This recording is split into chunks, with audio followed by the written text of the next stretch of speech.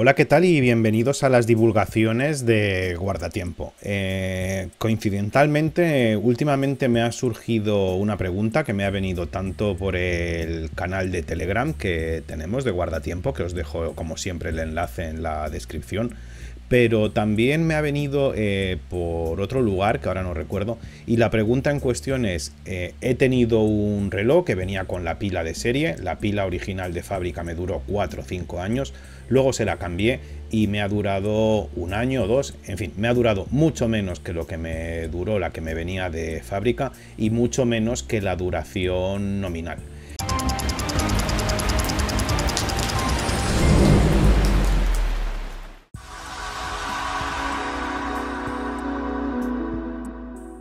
Eh, llegados a este punto, lo que os quiero explicar es algo muy sencillo.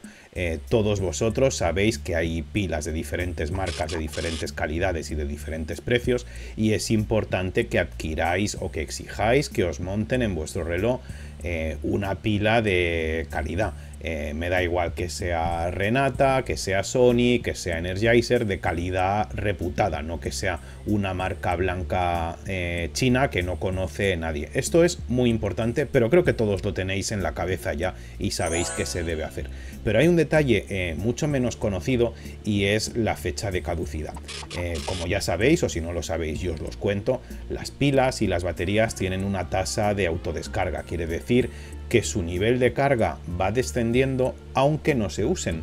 Eh, es decir, transcurre el tiempo y al cabo de un año esa pila, aunque no se haya usado y aunque esté en su blister original cerrada, tiene menos carga. Es por esa razón por la que eh, los fabricantes incorporan en sus embalajes la fecha de caducidad o la fecha de fabricación de la pila.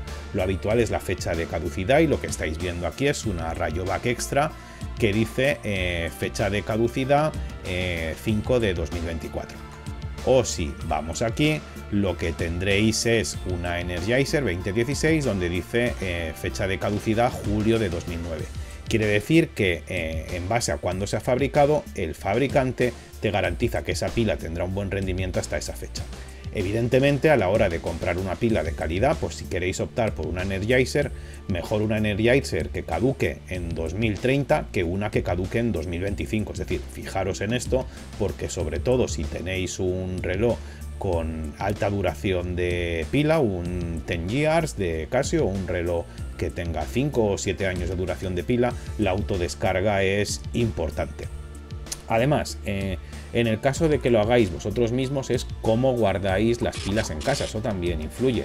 Eh, conservadlas siempre en el blister original porque eh, va protegida con cartón y plástico que es aislante. Si las tenéis abiertas, pues es fácil que acabe tocando metal con metal o que tenga un imán por ahí y le haga perder todavía más carga. Es decir, lo mejor en el blister original.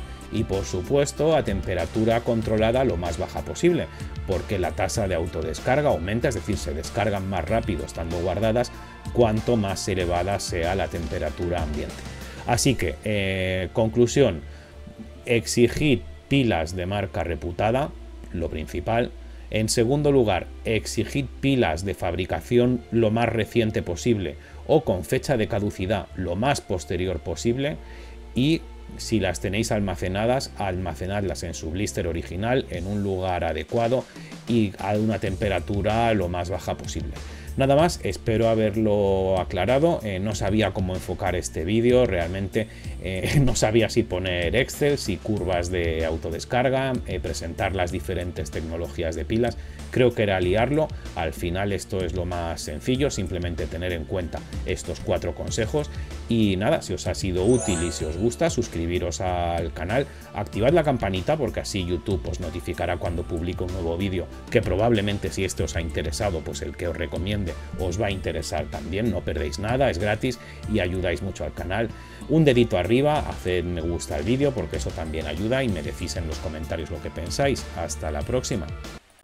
Este vídeo está patrocinado por mí, es decir, por la saga A Contrarreloj Paul Davis, un conjunto de seis novelas en las que si te gusta la relojería, la ficción y los detectives privados especializados en recuperar relojes, en esclarecer asuntos de fraudes, de robos, de aseguradoras, eh, son tus libros. Los tienes a la venta en Amazon, tanto en formato digital o ebook como en formato físico de papel. Y la verdad que te recomiendo que los pruebes. No voy a incitarte a que los compres, pásate por javiergutierrezchamorro.com, donde se han publicado varios relatos gratuitos, échales un vistazo y si te gustan, adelante. Suscribiros